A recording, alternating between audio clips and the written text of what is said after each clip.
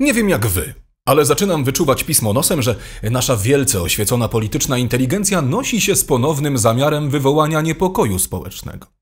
A czym miałby ten niepokój się przejawiać? Z czym byłby związany? Rzecz jasna z pewnym wirusem i jego kolejnymi mutacjami. Naczelny choroboznawca już trąbi po mediach, że czeka nas zimowa katastrofa i w związku z nią konieczne ma się stać wprowadzenie nakazu noszenia na twarzach tego, czego żaden logicznie myślący człowiek nosił i tak nie będzie. Dziś krok po kroku przypomnimy sobie pewne zależności, które pandemia zapoczątkowała. Jej efektem, jednym z wielu, jest legendarne już hasło, które przewija się od ponad roku we wszystkich mediach. Mam na myśli KPO i konsekwencje z nim związane. Sądzę bowiem, że jesteśmy nieźle oszukiwani. Tu Marek Miśko i kanał Marek Miśko Czuwaj. Czuwaj w sobotę o sprawach społecznych i politycznych. Zapraszam. Czujcie się jak u siebie.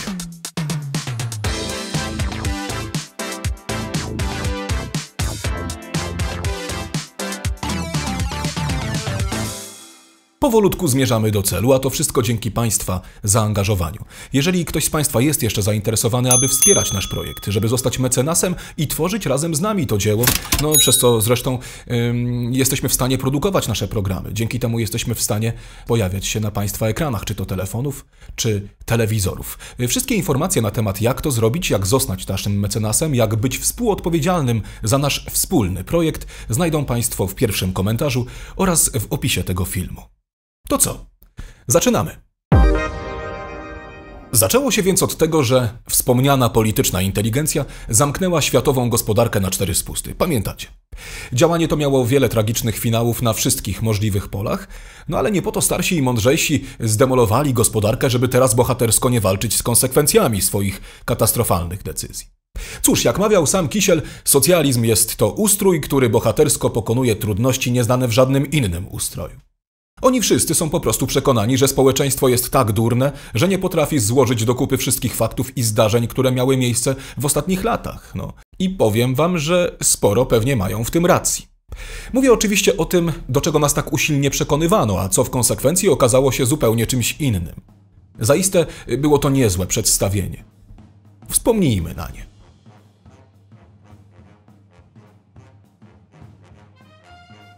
Albo wtedy, gdy doradca ekonomiczny Białego Domu, Larry Kudlow, na konferencji prasowej przekonywał dziennikarzy o zaleceniach związanych z noszeniem maseczek, zachowywaniem dystansu i przeprowadzaniem testów. I gdy tak mówił i mówił i mówił, sam na ustach rzeczonej szmatki nie miał.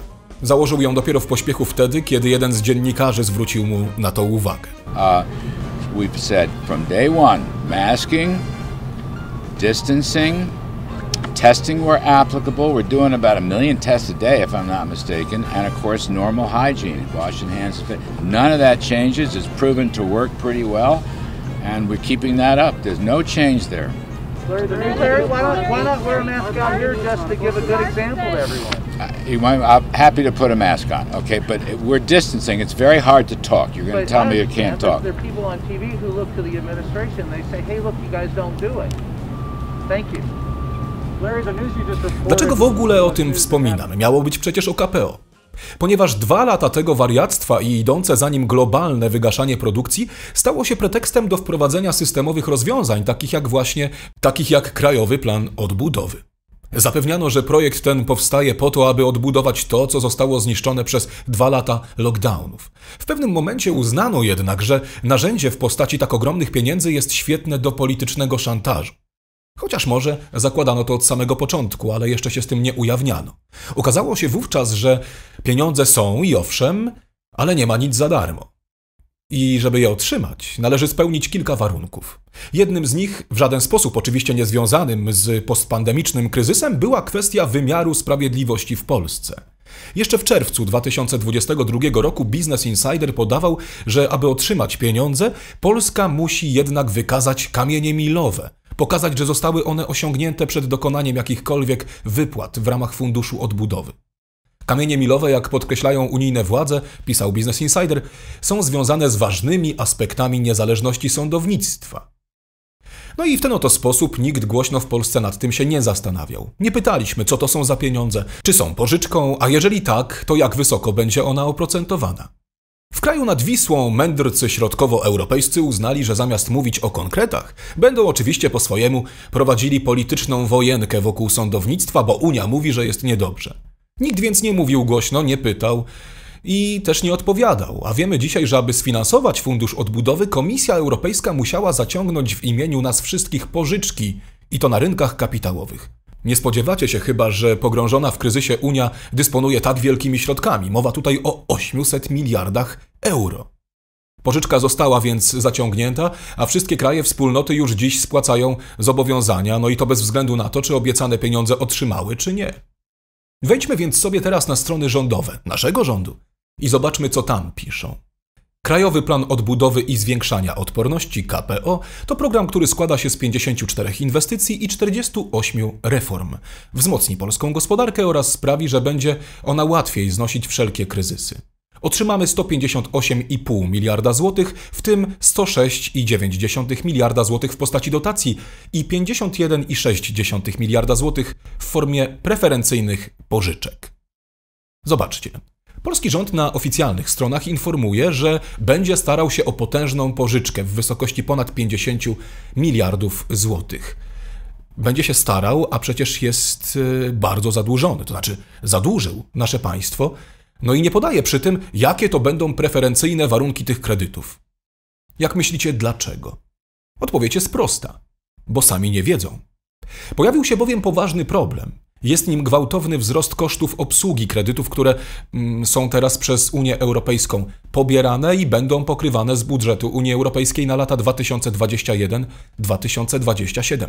Kiedy więc fundusz powstał, zakładano oczywiście, że średnie stopy procentowe będą stopniowo rosły, w efekcie czego na samą spłatę odsetek od kredytów przygotowano prawie 15 miliardów euro. Tymczasem stopy są dziś tak wysokie, znacznie wyższe, co oznacza, że wspomniana już kwota została wykorzystana w wakacje tego roku, czyli ponad 4 lata przed pierwotnymi planami. Co to oznacza? Oznacza to, że koszty kredytów potężnie wzrosły i należy wygospodarować kolejne środki na spłacanie odsetek na kolejne 4 lata. Więc nie będzie to już 15 miliardów. Ale ile? 45?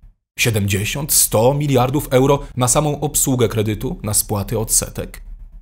Sprawa jest tym bardziej skomplikowana, że Komisja Europejska, jak rzekłem, zaciągnęła ten dług również w naszym imieniu i musimy dzielić się jego kosztami bez względu na to, czy pieniądze te otrzymamy, czy nie. W jaki sposób Unia od nas te pieniądze uzyska, czy zwiększy składkę, y, czy zrobi cokolwiek innego, prawdopodobnie jeszcze nie jest ustalone, nie jest po prostu jasne, ale jedno jest pewne: nic za darmo nam nie dadzą. Będziemy musieli się dołożyć do kredytu zaciągniętego i pomagać spłacać te odsetki. Sprytne, prawda? Medialne urabianie. Jestem przekonany, że większość Polaków nie ma świadomości, że KPO to nie tylko dotacje, ale również potężny kredyt.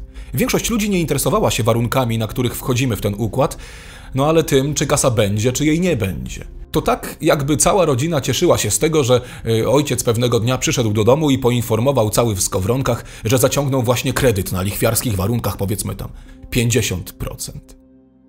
Nie dziwię się jednak, sposobem podejścia opinii publicznej do tak ważnej sprawy. Zobaczcie, jak relacjonowały to media, jaką narrację tworzono, w jaki sposób urabiano ludzi. Polska ma szansę, unijne pieniądze coraz bliżej, środki z KPO jeszcze przed Wigilią. No właśnie, na co te środki? Czy możemy nimi dysponować jak chcemy? Czy możemy, skoro wzięliśmy pożyczkę, zainwestować ją w polską gospodarkę tak, aby stymulować rozwój naszych przedsiębiorstw? To jest sprawa bardziej skomplikowana. Narracja samego premiera Mateusza Morawieckiego w tej sprawie, w sprawie KPO, zmieniała się wiele razy, ale to pod wpływem polityki, więc mm, nie ma tutaj mm, specjalnie do czego się przyczepić. Ale zobaczcie na fragment artykułu z portalu bankier.pl. Od nowego planu Marszala po pieniądze, bez których spokojnie sobie poradzimy. Narracja premiera Mateusza Morawieckiego na temat środków z Krajowego Planu Odbudowy zdążyła zmieniać się kilkukrotnie. I jeszcze to.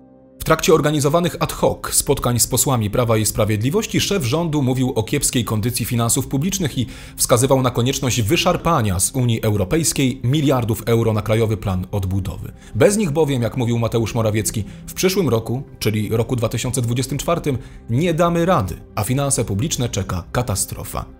Wiem, że finanse publiczne to taki zwrot, który wydaje nam się odległy. Bo zazwyczaj interesujemy się swoimi finansami, swoim portfelem. Ale uwierzcie mi, że finanse publiczne i w ogóle widmo katastrofy tychże finansów dotknie każdego z nas bezpośrednio. I to również naszych portfeli. Więc Mateusz Morawiecki, jak twierdzi informator, który przekazał wiedzę do mediów, mówił, że jest duży problem z pieniędzmi. Mówił o obawie o płynność budżetu państwa. Skąd wzięły się więc takie czarne scenariusze? W opinii premiera gospodarka jest co prawda w dobrej kondycji, jednak tego samego nie można już powiedzieć o finansach publicznych, coraz bardziej obciążonych nowymi kredytami, na zbrojenia i finansowaniem tarcz antyinflacyjnych i dodatków energetycznych. No dobrze. Premier twierdzi, że bez KPO nie damy sobie rady. Załóżmy, że właśnie tak jest. Donald Tusk szykuje się do przejęcia władzy i kasa w wysokości 5 miliardów euro ma pojawić się w Polsce jeszcze przed świętami.